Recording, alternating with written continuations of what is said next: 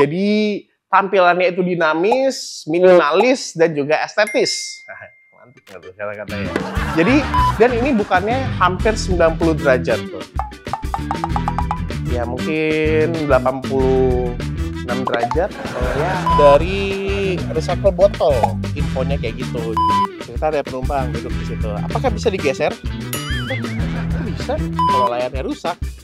Ya udah udah masih aksesnya kembali lagi mau lihat mobil lagi mau ladin lagi akhirnya Mazda MX-30 ini dijual di Indonesia jadi dulu sempat diperkenalkan di IAS 2023 itu hanya perkenalan produk aja. Kita bisa lihat eksteriornya tapi nggak bisa lihat interior. Dan mobil ini udah mulai dijual. Tapi memang untuk saat ini kita syuting itu di tanggal 5 November, nanti launchingnya akan tanggal 11 November. Jadi video ini tayang tanggal 11 November. Kita belum tahu harganya. Nanti harga akan kita update di bagian kolom deskripsi, tapi infonya harga mobil ini berada di angka 600 sampai dengan 1 miliar rupiah. Nggak bakal lebih katanya, tapi ada di range tersebut. Lumayan mahal ya. Uh, dengan harga tersebut, kira-kira apa hal menarik yang ditawarkan dari mobil ini? Sekarang kita lihat aja.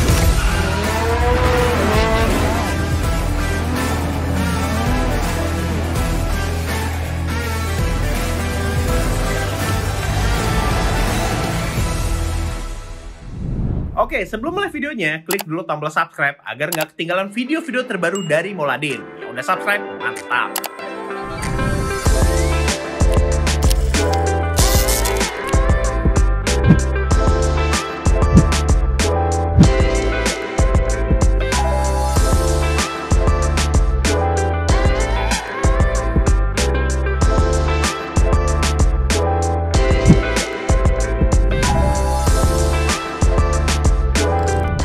Dan yang pasti pertama ditawarkan mobil ini adalah desainnya. Jadi mobil ini desainnya udah kodo ya, kodo Soul of Motion. Jadi tampilannya itu dinamis, minimalis dan juga estetis. Nah, mantap kata-katanya. Jadi desain kodo itu membuat mobil ini walaupun berhenti itu seperti bergerak gitu tampilannya. Uh, emang mobil ini tampilannya sporty, apalagi dia ala-ala coupe, sportsback atau fastback kayak gini bentukannya. Dan ini jujur unik mobilnya. Desainnya kecil, nggak gede-gede banget. Cukup banget digunakan di dalam kota ya. Ini bagian depan, kalau kita lihat di bagian lampu itu ala-ala floating ya kalau dari samping nih. Lihat. Jadi antara bumper, bumper sama grillnya itu kayak ada ada gap gitu, jadi ngambang kesannya. Ya ini desain lampu depan Mazda seperti ini, grillnya cukup. Oh ini nggak grillnya nggak begitu gede ya. Jadi grillnya cuma segini doang. Ya ini ada bolong-bolongan juga di bagian atas, sedikit gedenya di bagian bawah untuk pendinginan uh, motor listriknya ataupun baterainya. Dan perlu diingat mobil ini nggak hanya varian listrik. Oh iya, dari awal tadi nggak nyebutin, ini varian EV yang masuk Indonesia. Jadi ini full listrik di MX-30 ini. Uh, di Indonesia masuk hanya varian EV, sedangkan di luar itu kalau nggak salah ada mesin yang rotari. Oke, lanjut lagi soal desain. Emang tampilan depan mobil ini agresif banget ya.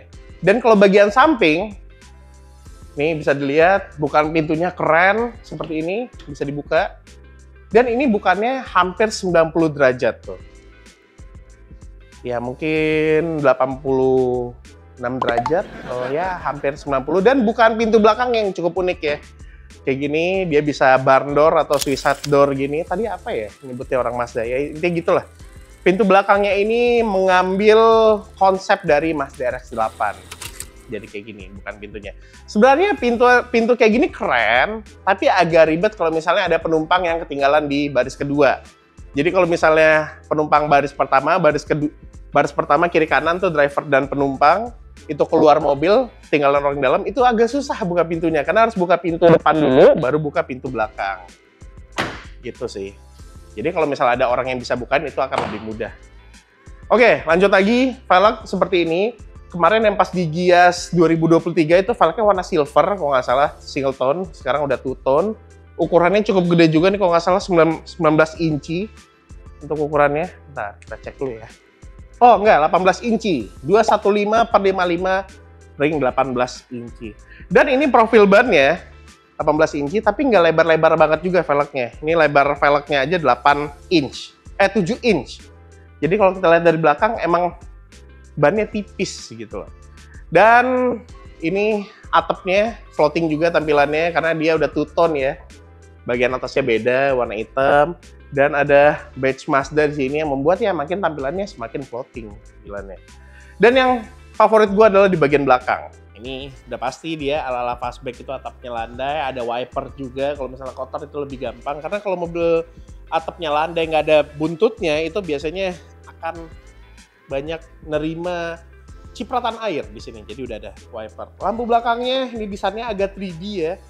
Tapi kalau dari desain overall itu mirip si X30. Tapi dia kan si X30 kayak apa ya? Dua dimensi gitu. Sedangkan mobil ini emang lekukannya ada sampai di bagian luar. Warna emang Mazda udah paling terbaik ya untuk soul rate-nya itu. Warna merahnya emang luar biasa. Bagasi seperti ini.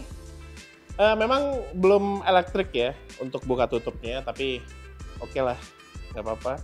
Bagasi cukup gede dan ada kompartemen di bagian bawah kalau mau nyimpen-nyimpen ataupun barang-barang darurat ada di sini. Mobil ini udah nggak pakai ban cadangan lagi ya, jadi sudah tersedia tire per kit di sini. Oke, jadi gitu aja sih. Di bagian bagasinya nggak ada yang spesial. Dan karena ini mobil listrik ya, di sini ada colokan buat ngecas. Jadi ada yang AC dan ada yang DC. Nah pasti DC-nya yang umum di Indonesia ya CCS tuh. Jadi kalau mau ngecas di PLN, SPKLU itu bisa. Casannya banyak di Indonesia. Dan infonya untuk ngecas mobil ini, kalau misalnya pakai AC di rumah dengan kecepatan 7 kW, itu ngecasnya bisa dalam 7 jam. Jadi ya sampai rumah malam tinggalin tidur, paginya udah full lagi. Dan kalau misalnya ngecas uh, pakai quick charge atau fast charging itu bisa dalam 20 menit dari 10% sampai 80%.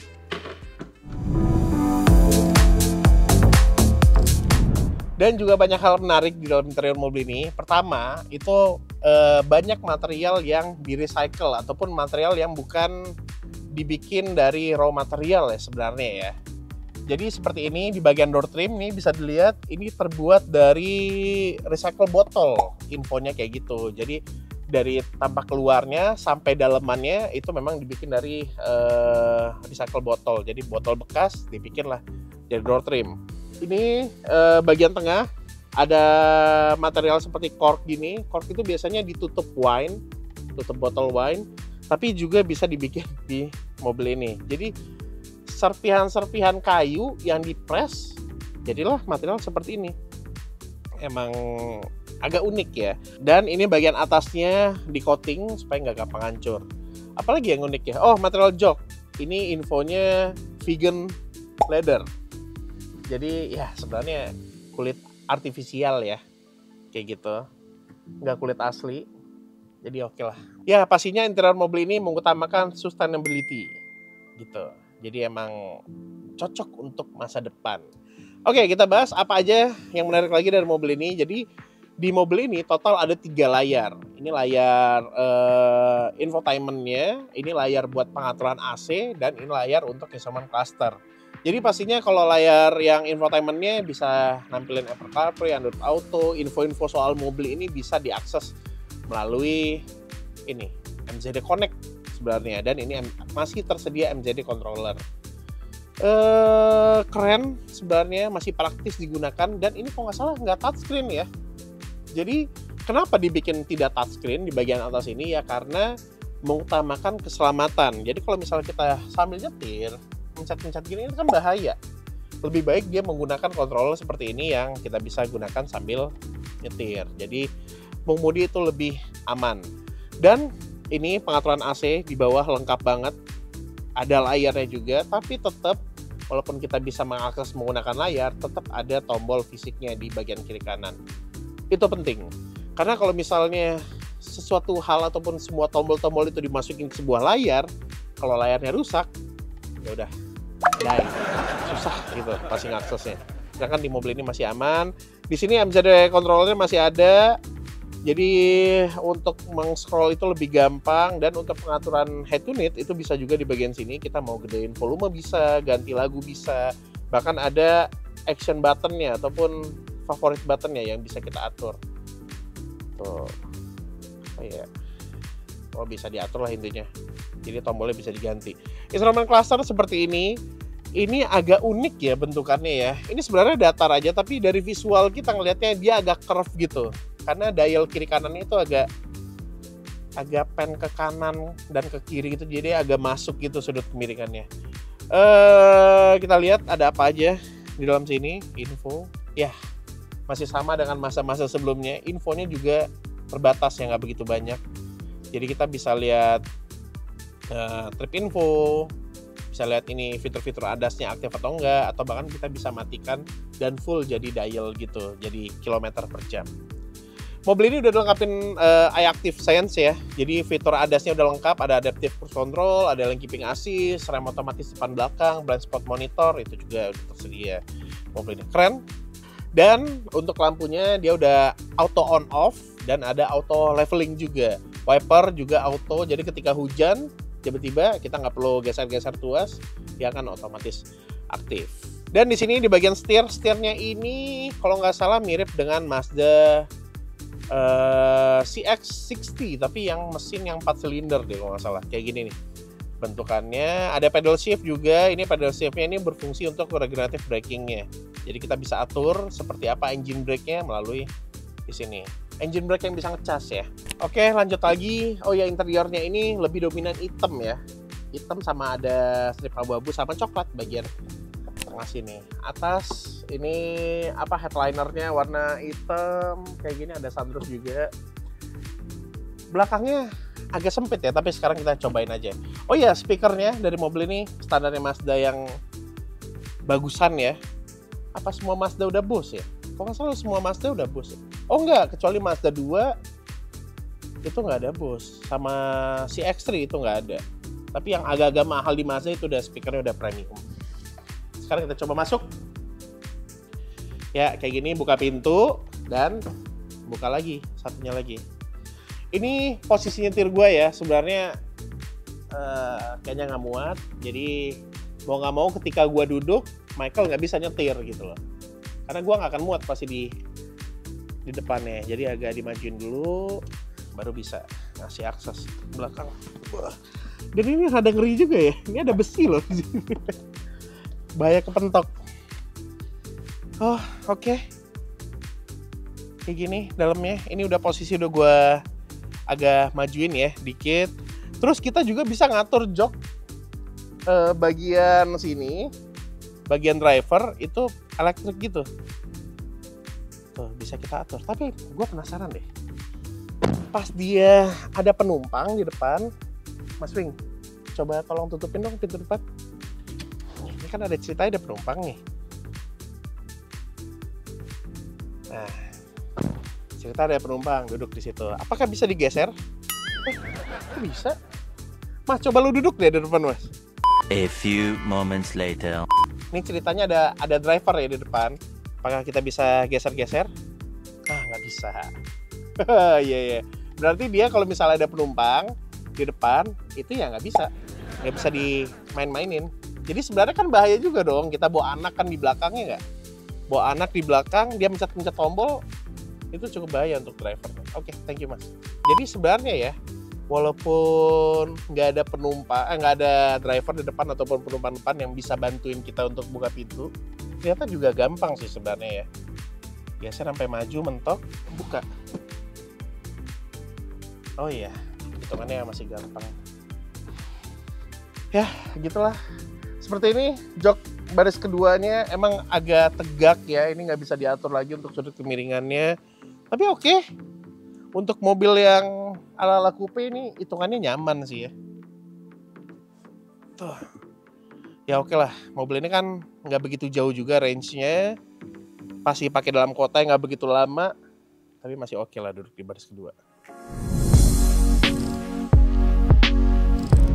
ya tadi di baris kedua gue sebutin mobil ini memang ya nggak jauh-jauh banget lah range-nya itu emang bener karena mobil ini sekali cas dalam kondisi 100% itu hanya bisa jalan 200 km aja Ya itu karena mobil ini baterainya kecil, baterainya cuma 35,5 kWh ya. Motor listriknya juga kecil banget, nggak gede-gede banget, powernya cukup lah. Dia tenaganya itu 143 HP dan torsinya 270,9.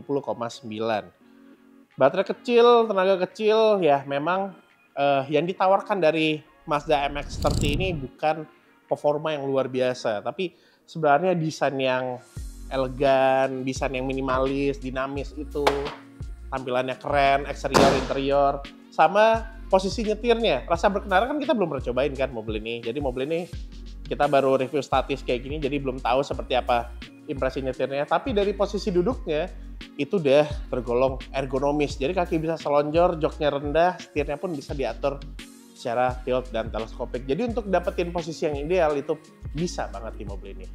Oke, jadi gitu aja. Kesimpulannya mobil ini emang 100% nggak nawarin performa ataupun range yang jauh, tapi emang menawarkan desain yang estetis ya sama interior yang menarik tampilannya. Jadi gitu aja.